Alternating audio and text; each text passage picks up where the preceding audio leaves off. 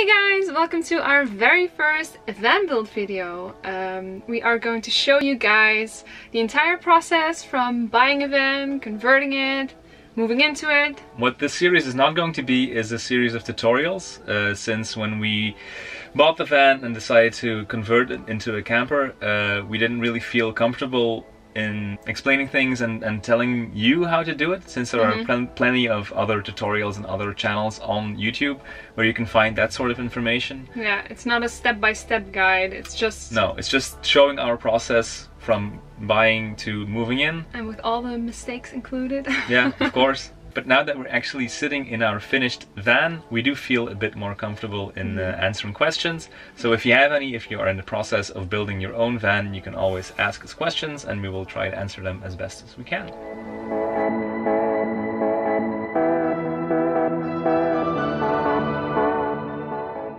So the whole process started about a year ago.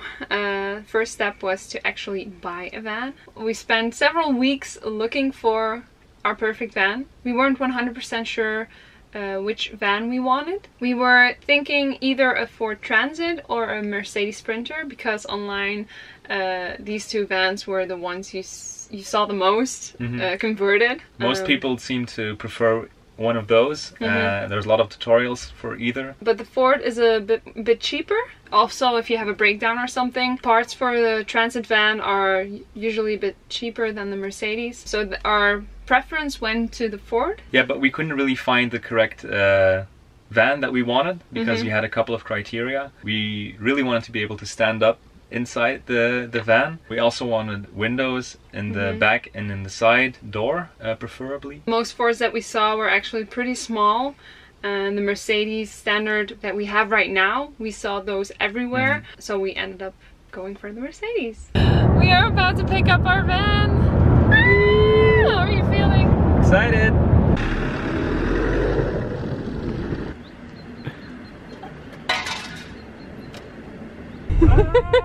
I'm driving a van! Oh my god! this is so weird. This is our baby. So after we finally got the van home, uh, the next thing we had to do was take out the walls and the floor and then clean it thoroughly because it was quite dirty. I think it had been used by electricians or something like that. Waterproof some holes and also put in some anti-rust solution uh, for where there were some rust marks in the floor and the walls. When we took out the walls, we also noticed that it's very dirty here because water was leaking in through the holes. Those are the clips of the side panels of the van. We have to take these out and clean them and then fill them up and make them waterproof. So we still have a lot of things to do. Yeah. Yeah. Teamwork. Don't break it, Steve. Trying not to. So while Steve is applying anti-rust on all the little holes in our van, I am cleaning all these clips so we can put some sealant on them and waterproof them.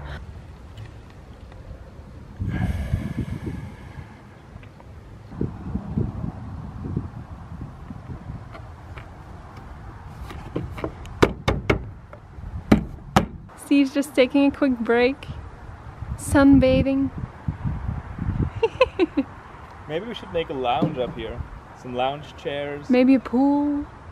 One of the main reasons to um, seal up all these holes is obviously not to have any holes in our floor.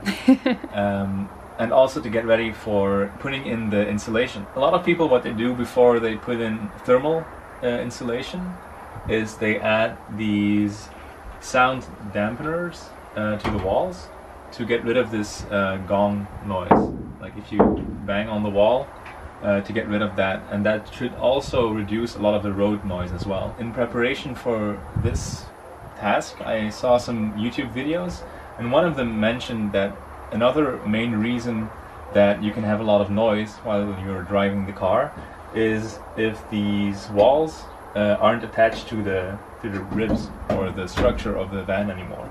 So we're just gonna go around now and try to find areas like this where obviously the wall isn't attached anymore, um, and then also sealing those with this sealant.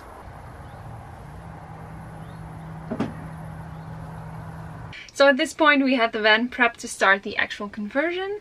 Uh, the next thing we did was install our Maxx fan. So we spent most of the day just driving around picking up stuff from the store and like things we ordered and like this part of our installation.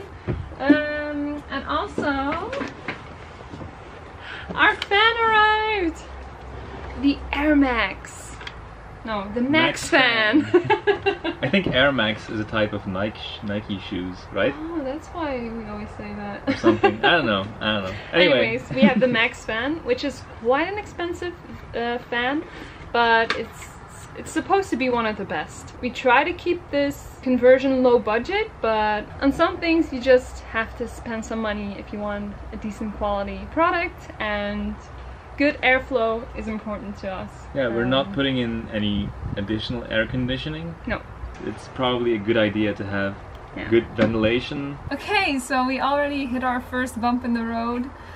I was super excited about our Maxx fan. Um, I watched a ton of videos of people installing it in a Sprinter as well. It was supposed to fit perfectly between the two ribs, but we just discovered that it doesn't fit perfectly. uh, and we were like, I was wa- looking up videos. I'm like, how is that possible? Is our Sprinter van different? Is our is our fan different? I don't know. And then Steve read somewhere that apparently the European version of the Maxx fan, the flange is wider than the um, US version. So that explains a lot. It's not impossible to install it, we can still do it, but there are just a few extra steps that we didn't realize were necessary. So to be specific, the US version doesn't have this border only this. So we kind of have two options. We can either cut our hole like this or cut it like this. It's also an option. So we decided to cut the bigger hole because then we only have to fill this up with putty tape and sealant. Otherwise we'd have to fill this up as well. We've seen people do it both ways so I don't think it really mat matters. We just decided to go with that. Now you know.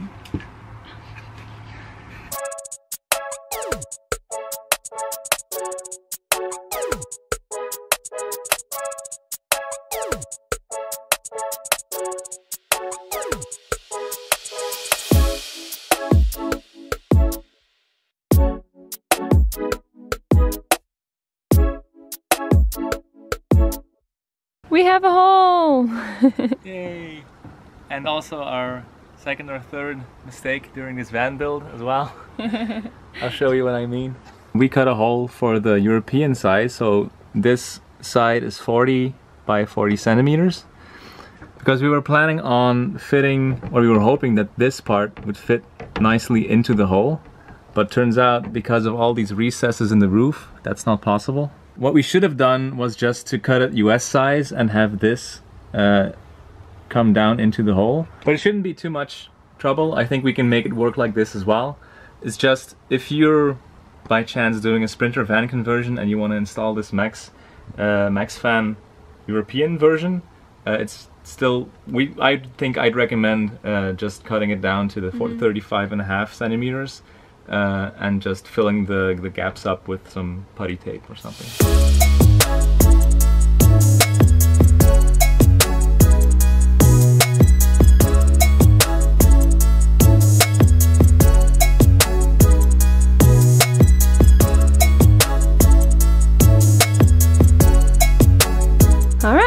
Have our wooden frame installed as well for support. So this is what we were talking about.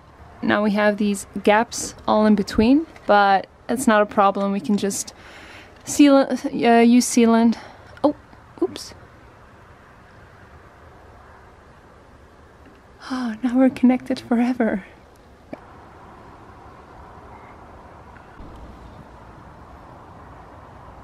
Alright, it's time to put this baby in.